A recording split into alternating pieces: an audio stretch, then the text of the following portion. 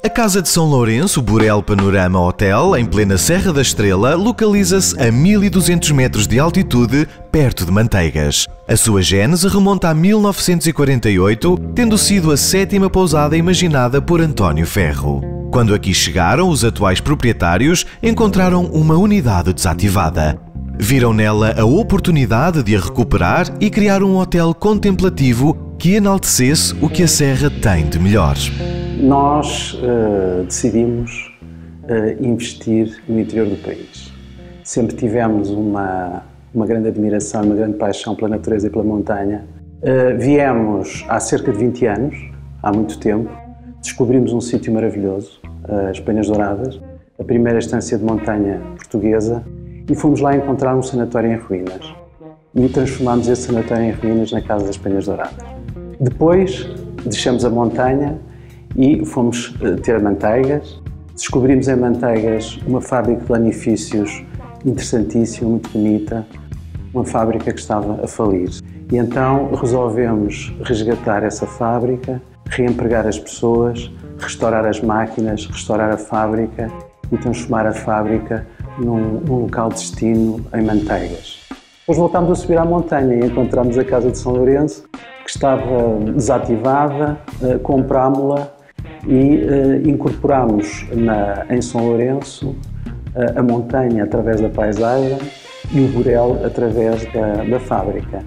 De cinco estrelas, a Casa de São Lourenço conta com projeto de arquitetura do ateliê Site Specific e interiores do ateliê P06.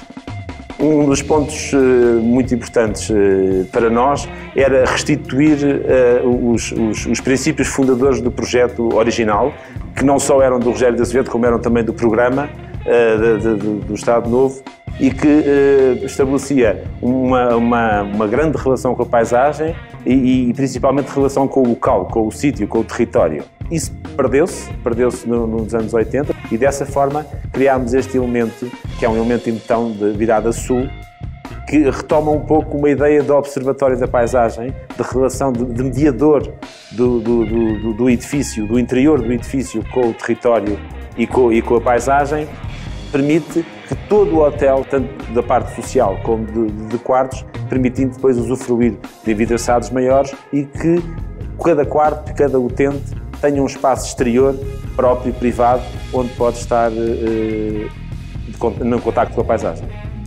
Um trabalho a quatro mãos que quis restituir os princípios do desenho inicial do arquiteto Rogério de Azevedo, que sofreu alterações ao longo dos anos.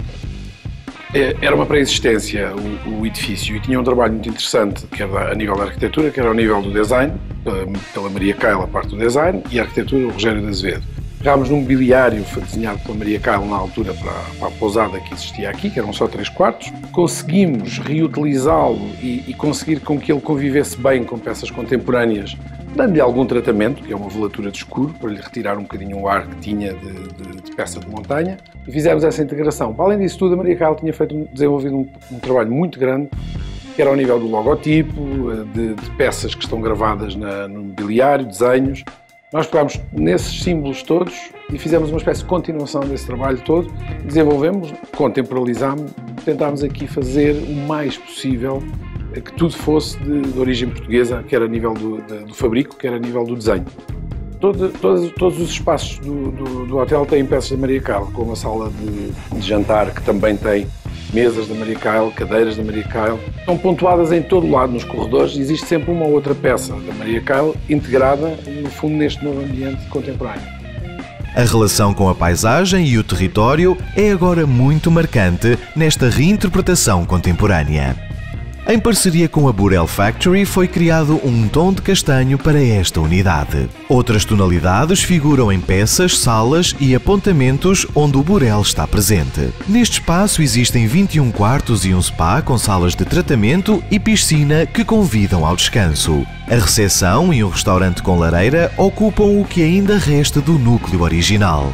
A Casa de São Lourenço, a Casa das Panhas Douradas e a Burel Factory, integrados na Burel Mountain Originals, foram recentemente distinguidas na categoria de Turismo Autêntico pelo Prémio Nacional de Turismo 2020.